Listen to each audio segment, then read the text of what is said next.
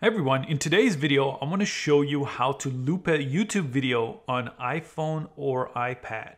So open the YouTube app, find the video that you want to loop, and you have to do a couple extra steps here. On the computer, you just right click and press loop, but on the phone, this is what you have to do.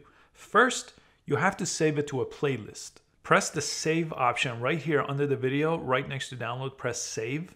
And you should get this pop up right here when you press that and I actually want to press new playlist. So I'm going to press new playlist here and title this. So if it's music or if it's a tutorial you want to loop here, go ahead and type that out and then press create. You could leave it on private here too, the playlist, so you only see it. So now we're gonna go back to the home page of YouTube here, and we're going to go to library. On the very bottom, you see the library tab, press that and scroll down here and you should see the playlist you just created. Mine just says tutorial here. If you don't have any other ones, that's okay. Just press the new one you just created.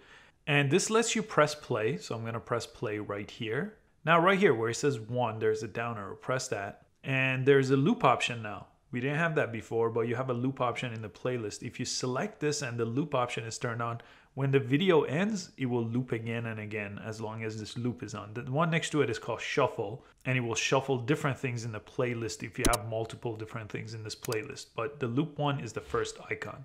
And it's that easy to loop videos on your iPhone or your iPad. Please give this a thumbs up, and I'll see you next time.